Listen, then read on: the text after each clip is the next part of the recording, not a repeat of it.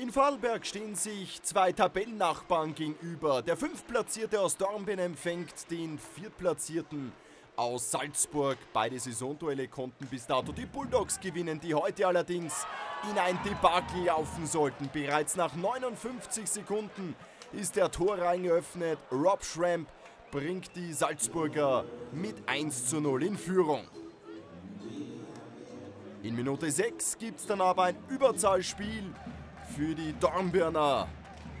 Und das sollte auch prompt zum Erfolg führen. Die Scheibe kommt zu McMonagall. Im ersten klappt es nicht, aber im zweiten dafür umso besser.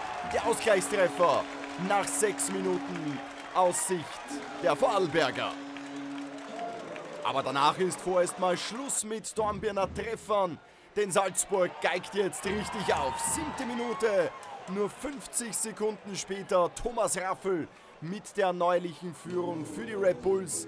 Der Assist kommt erstmalig an diesem Abend von Rob Schrampe, sollte nicht der letzte bleiben in diesem Spiel. Die 19. wieder die Salzburger im Vorwärtsgang. Steinoch mit dem 3 zu 1. Und der zweite Assist für Rob Schramp in diesem Spiel. Die Salzburger gehen mit einer Zwei-Tore-Führung ins zweite Drittel. Und auch dort sollten die Red Bulls zeigen, wieso sie das beste Offensivteam der Liga sind. Die 21. Minute. Überzahl für die Salzburger. Das ist der gewohnte Spielzug. Und wieder funktioniert blendend. Brent Harris trifft nach Assist von Rob Schramp. Das war bereits der dritte von Schramp in Folge.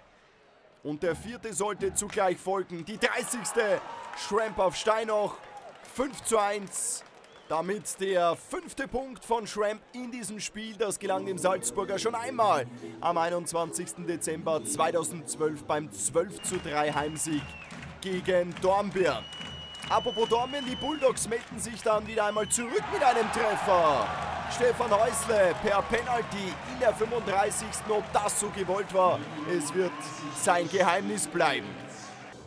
Dann sind wir schon im dritten Drittel in der 53. und sehen diesen wunderbaren Alleingang von Mario Huber abgeschlossen zum 6 zu 2.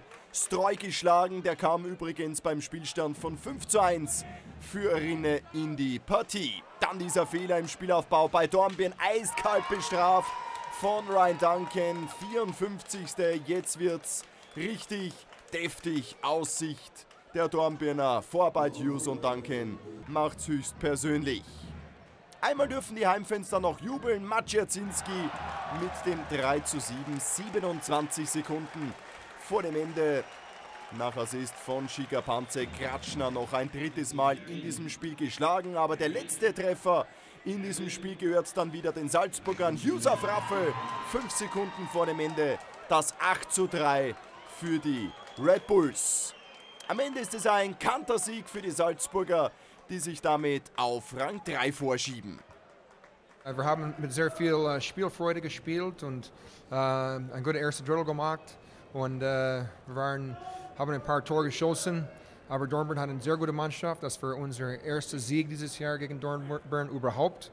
Und wir wissen, das wird ein sehr harter Kampf in zwei Tagen wieder in Salzburg. Well, if they play like that, that's the best team in the league. That uh, the speed and the skill, um, the execution. Uh, you know, we were chasing the game all night long, and uh, you know, I don't think it's through any fault of our own. I think the guys were ready. Uh, I think we were ready to compete. Uh, it's just they were so good, and you have to give them credit. Uh, you know, we gave them way too many grade A scoring chances, and when you give a team like that that much time and space, uh, it's going to end up like it did. So, uh, you know, we'll go back to the drawing board. There's nothing we can do about it now and try and get ready for the next game.